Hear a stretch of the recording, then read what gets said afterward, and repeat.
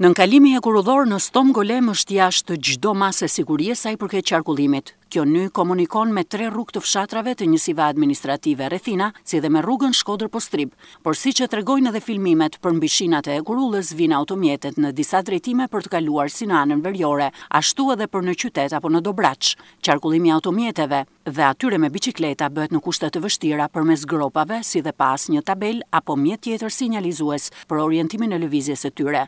Sidomos turistët e huaj me automjetet e tyre shpeshherë këtu mbesin për disa minuta pasi e kanë të vështirë të orientohen nga të kalojnë.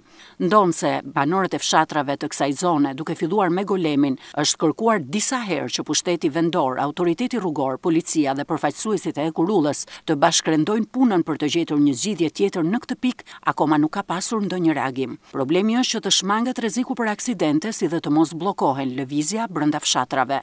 Ky shqetësim nuk është vetëm për periudhën e verës, pavarësisht se ka më shumë lëvizje, por edhe për stinën e dimrit dhe stinat e tjera, pasi gjithnjë te kjo nyje ka qarkullim të mjeteve, si natën ashtu edhe ditën, por pa ndonjë orientim të caktuar dhe në kundërshtim edhe me rregullat më minimale të qarkullimit rrugor. Gjithashtu edhe vetë ky segment ka degraduar në gropa së bashku me trasenë e hekurudhës.